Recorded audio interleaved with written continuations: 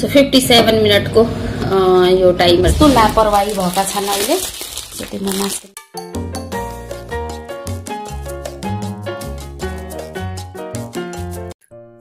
hello everyone welcome back to my channel Nepali YouTuber Urmila Neupane. यदि मेरो च्यानललाई subscribe गर्नुभएको छैन भने प्लिज सब्सक्राइब गरिदिनुहोला र छेउमा रहेको बेल आइकनलाई पनि क्लिक गरिदिनुहोला। यहाँकी जस्तो यो मर्निङको हो। मैले किचन सफा गर्दैछु। आजकल यस्तो धुलो धुलो हुन्छ। अनि किचनको त्यो डाइनिङ टेबलको पुरै खुट्टाहरूमा धुलो छ सो सबै सफा गर्दैछु। बिहानको मेरो यही काम हुन्छ सबभन्दा पहिला।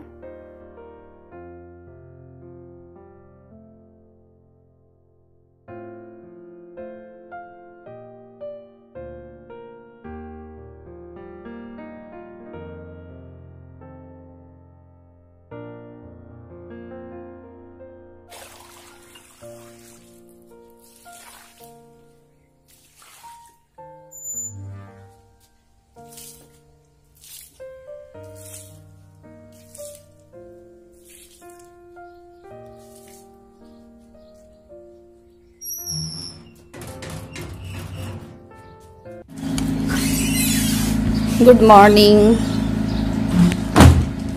यतिखेर कति बजिसक्यो भनेपछि नौ बजिसक्यो होला। लगभग नौ बजिसक्यो। अनि मेरो ब्लगिङ अब स्टार्ट भयो। अब चाहिँ म छतमा जाँदैछु। माथि मेरो वासिङ मेसिन माथि छ होइन यहाँ कपडा राखेको छु। वासिङ मेसिनमा वासिङ मेसिन चाहिँ मैले वासमा राखिदिएकी थिएँ।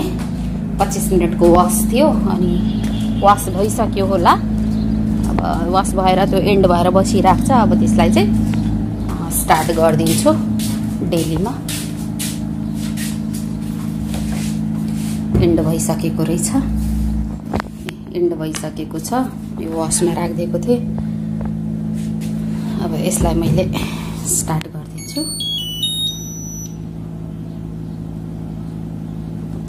टुमा राखिदिन्छु किनभने हाई एकदमै जिन्सहरू छ होइन त्यही भएर टुमा राखिदिन्छु। टुमा चाहिँ यहाँ छ हेभी। पी वानमा त डेली छ होइन पी टूमा हेभी छ यसमा यो छ सबै वाइट गर्ने भए यसमा। नम्बर वाइज छ यो त अब आई थिङ्क सबैको घरमा लगभग लगभग छ होला वासिङ मेसिन थाहा छ होला। सो मैले धेरै केही भन्न पर्दैन सो म यहाँ हेभी हेभी कपडाहरू छन् त्यही भएर पी टूमा राखिदिएँ। अनि पानी चाहिँ मैले हाईमा राखिदिन्छु। भेरी हाई गरेर नि धेरै त्यति साह्रो कपडा छैन त्यही भएर हाईमा गरिदिएँ। अब यसमा सरफहरू केही राख्न पर्दैन किन भनेपछि मैले वास गर्दाखेरि नै सरफहरू सबै राखेर ए वास छ नि यहाँ ए, वास अन्ली टुवेल्भमा थियो होइन वास अन्ली यो चाहिँ मैले गरिसकेँ अघि नै पच्चिस मिनटको थियो अनि त्यही भएर सरफ राख्न पर्दैन। अब फेरिदेखि यसलाई स्टार्ट गरिदिन्छु। फेरि पनि मागिरहेको छैन टु कप एड भनेर मागिरहेको छ तर यो चाहिँ पुरा मैले यहाँ पहिले नै सरफ राखिसकेको छु वास गर्दाखेरि सो त्यही भएर चाहिँ यो सुरु भयो अब। सो फिफ्टी सेभेन मिनटको यो टाइमर दिएको छ होइन फिफ्टी सेभेन मिनटमा यो मेरो धोएर वास गरेर कम्प्लिट गर्छ। अनि फिफ्टी सेभेन मिनट छ भने म अब यहाँ आधा घन्टा तिस मिनटपछि फेरि म माथि आउँछु। अहिले चाहिँ तल जाँदैछु। तिस मिनटपछि फेरि माथि आएर मैले हेर्छु यो पानी फाल्ने बेला हुन्छ। अनि कहिले कहिले कहिले कस्तो हुन्छ भनेपछि कपडा यसमा मिल्दैन नि त। अब एक अर्कामा अल्झेको हुन्छ होइन। एक अर्कामा अल्झिँदाखेरि यो मेसिन चाहिँ घडा घडा घडा घडा घडा गरेर आवाज गर्छ होइन। अनि त्यही भएर एकचोटि चेक गर्न आउनुपर्छ अनि ठ्याक्क थर्टी मिनटपछि म आएपछि ठ्याक्कै पानी यसले फाल्ने बेला हुन्छ। अनि त्यसपछि ठ्याक्कै कपडा ठ्याक्कै मिलिराखेको छ भने त घडा घडा गर्दैन। कपडा मिलेको छैन भने चाहिँ घडा घडा गर्छ। अनि फेरि त्यसलाई मिलाउन पर्छ। त्यही भएर म अहिले चाहिँ तल जान्छु नि थर्टी मिनटपछि फेरि आउँछु तल फेरि केही काम गर्छु। खानाहरू पाकेकै छैन पकाउन छ सो यहाँ जस्तो देखिराख्नु भएको छ पुरा म्यासी म्यासी जस्तै देखिन्छ के रहेछ यो चाहिँ हाम्रो रेस्टुरेन्ट यसलाई अलिकति मोडिफाई गर्दाखेरि चाहिँ यो रेस्टुरेन्टमा थियो कि यो पुरानो रेस्टुरेन्टमा यो काउन्टरहरू थियो। अनि त्यसै त्यो काउन्टर ठुलो काउन्टर थियो। त्यो ठुलो काउन्टरलाई हामीले काटेर सानो गरेका छौँ त्यहाँ। अनि त्यसैको बचेको चाहिँ यहाँ ल्याएर अनि यही खित्रिङ मित्रिङ सबै यसमा राखिदिएको छु र यहाँ फ्रिजर र फ्रिज पनि ल्याएका छौँ हामीले। यसलाई हेर्नुहोस् यहाँ फ्रिजर पनि छ। यो फ्रिजर पनि हामीले उहीँबाट लिएर आएको। होइन रेस्टुरेन्टमा यो अटेन अलिकति भने पनि हुन्छ। सो र काम पनि छैन। उहाँ हाम्रो चाहिँ फेरि ठुलो फ्रिज छ। मैले तपाईँलाई आज यदि म रेस्टुरेन्ट गएछु भने देखाउँछु। हाम्रो कत्रो फ्रिज छ त्यहाँ भनेर। उहाँ चाहिँ एकदम ठुलो फ्रिज छ। त्यो त्यो फ्रिजमा चाहिँ फ्रिजरको पनि काम गर्छ। त्यही भएर यो चाहिँ यहाँ हामीले ल्याएर राख्यौँ। अनि त्यसपछि एउटा यो सानो फ्रिज छ। अब हामीसँग त ठुलो फ्रिज छ। ठुलो फ्रिज भएपछि त्यो यो सानो फ्रिजको कामै छैन। सो यहाँ यो सानो फ्रिज पनि यहाँ यत्तिकै यो खाली छ। यो पनि अब बेच्ने हो के गर्ने हो सोचमा छौँ तर अहिलेलाई यत्तिकै छ। बेच्यो भने पनि पछि बेच्ने हो। अनि चाहिँ फ्रिजरमा चाहिँ अब हाम्रो जो बिरयानीको मसलाहरू हुन्छ नि हो त्यो चाहिँ हामीले धेरै जस्तो अब यहीँ बनाउँछौँ किनभने उहाँ चाहिँ किचन अलिकति सानै नै भयो। अनि यहाँ बनाएपछि चाहिँ अब यो फ्रिजरमा त्यो मसलाहरू राख्नलाई काम लाग्छ भनेर हाम्रो फ्रिजर चाहिँ नबेच्ने यहीँ राख्ने हो। र होटलबाट हाम्रो यो पनि आएको छ होइन यत्रो ठुल्ठुलो डेक्चीहरू पनि थियो त्यहाँ। सब कामी नलाग्ने डेक्चीहरू छन्। अनि त्यही भएर सबै आएको छ। यो पनि मैले त्यस दिन देखाइनँ जुन दिन ल्याएको थिएँ। यो पनि मेरो त्यही रेस्टुरेन्टबाट नै आएको पुरानो सामानहरू। धेरै नचाहिने सामानहरू पनि त्यहाँ थियो। अनि त्यो सबै ल्याएर राखेँ। यो मिसिनको घेर घेर आवाज आउँदैछ होला। सो म एकछिनमा तपाईँहरूसित भेट्छु। अब खाना बनाउन तल जाँदैछु। थर्टी मिनटपछि फेरि आउला छ मलाई माथि। सो म तल आएँ। कान्छो छोरा उदित जान लाग्छ होइन। अब यस्तो छ नि त्यस्तो बानी। रिस पनि उठ्छ मलाई। मास्क पनि नलाइकन जाने यस्तो लापरवाही भएका छन् अहिले सो त्यो म मास्क निकालेर त्यसलाई दिँदैछु।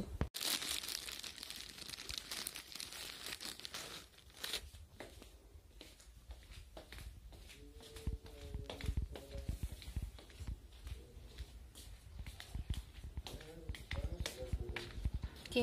उठे हामी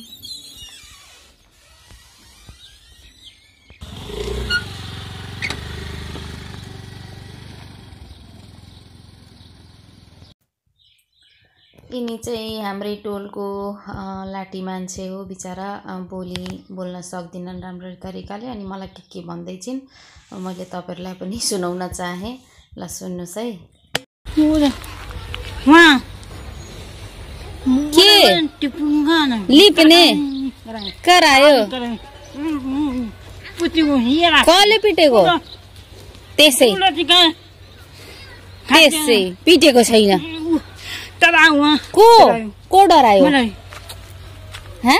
पर कहाँ कहाँ कहाँ कसले बात बात कसले पर कहाँ कहाँ नानी हो नानी सब पर कहाँ बात नरे हाँ? बोला बोला हुँ। पछि हेर खाना त खायो खाँदैन बोला जाने दुध खायो?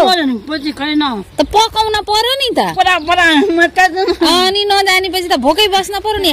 आफूलाई भोक लाग्छ पकाउने खाने। अनि अर्काको भरमा पर्यो नि त भोकै बसिन्छ नि। ए जान्दैनौ ए हो र। सिक्न पर्यो के अब? सिक्न पर्यो नि त पकाउनलाई। मरा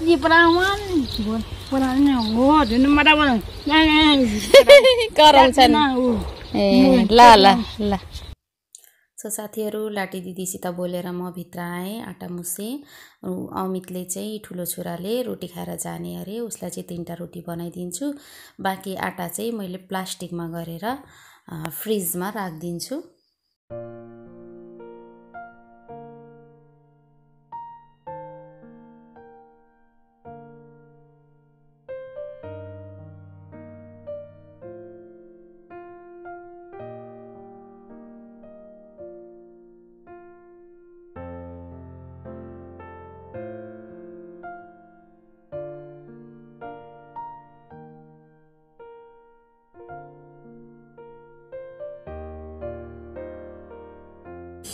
आज त हातैले खाँदैछु दुख्न त दुखिरहेछ।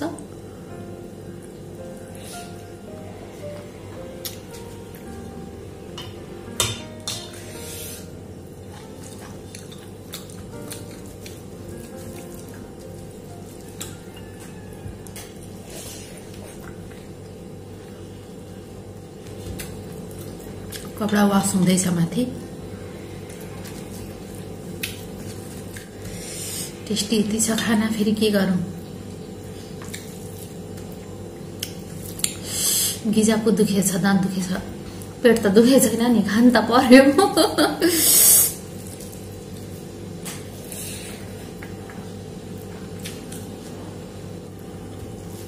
र अयुब टेक्निकल भाइले मलाई सोधिराख्नु भएको छ तपाईँ बुटोलमा कहाँ बस्नुहुन्छ? पहिला त सोध्नुभयो तपाईँ कहाँ बस्नुहुन्छ? मैले बुटोल भने। बुटोलमा कहाँ बस्नुहुन्छ? बुटोलमा म पश्चिम बेलबास बस्छु है त।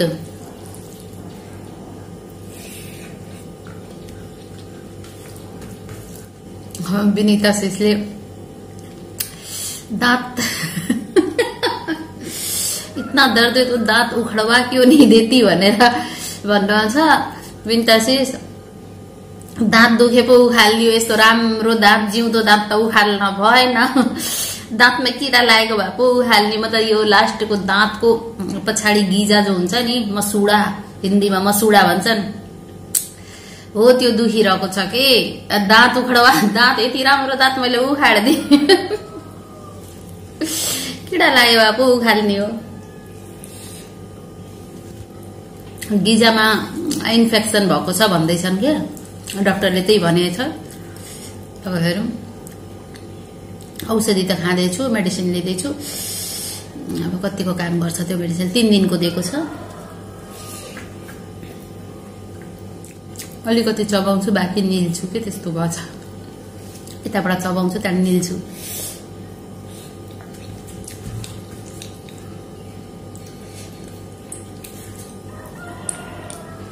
खाएपछि दुख्छ के फेरि? राति सुत्दा दुख्दैन। चुप्प लाग्छ नि त सुत्दाखेरि बिहान उठेर ब्रस गर्दा पनि दुख्दैन चियाहरू खाँदा नि त्यस्तो जब यो खाना खान्छु नि त्यसपछि दिनभरिको दुखाइ छ अब औषधि खानुपर्छ औषधि खान्छु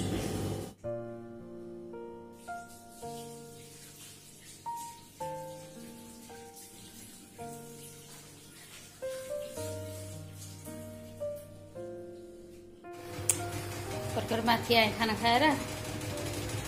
यो घाडा घाडा भएर ठिकै भएको रहेछ। अब एकचोटि अझै पानी लिन्छ त्यसपछि फ्रेस हुन्छ कपडा धुवाइ।